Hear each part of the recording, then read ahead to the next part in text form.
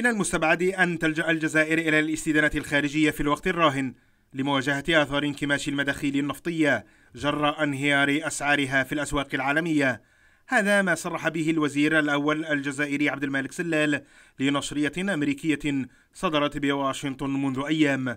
تصريحات أثارت الكثير من الجدل وسط خبراء الاقتصاد والمالية في الجزائر والعالم.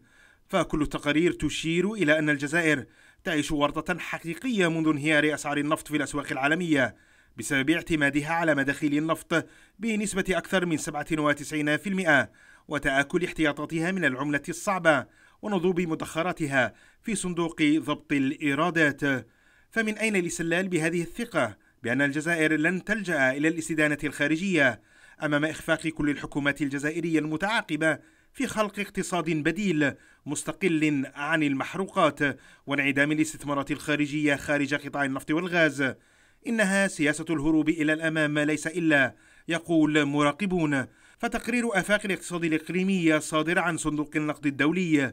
الذي صدر مؤخرا يؤكد على أن الجزائر ستكون من بين أكبر البلدان المدينة في العالم بين الفترة 2016 إلى 2020 لاحتمال تجاوز حاجيتها التمويلية ما لديها من احتياطات مالية سائلة. ووزير المالية الجزائري السابق عبد الرحمن بن خالفة يؤكد من مدينة مسيلة شرق الجزائر على ضرورة تعبئة موارد بديلة لما كان يأتي من المحروقات من خلال الاحتواء المالي والجبائي وفتح رأس مال الشركات وإلا فالاستدانة من الأسواق الخارجية.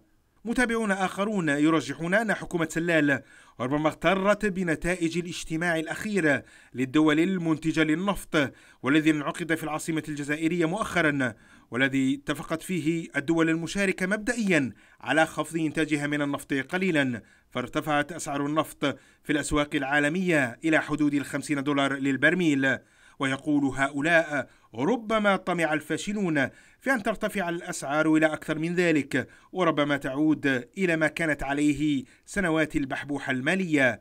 وهذا ما نفاه علميا كل الفاعلين في الأسواق العالمية وأكده شاهد من أهلها. باش تكون الميزانية الجزائرية حاليا في الأزمة متوازنة لازم لنا برميل ب 80 دولار.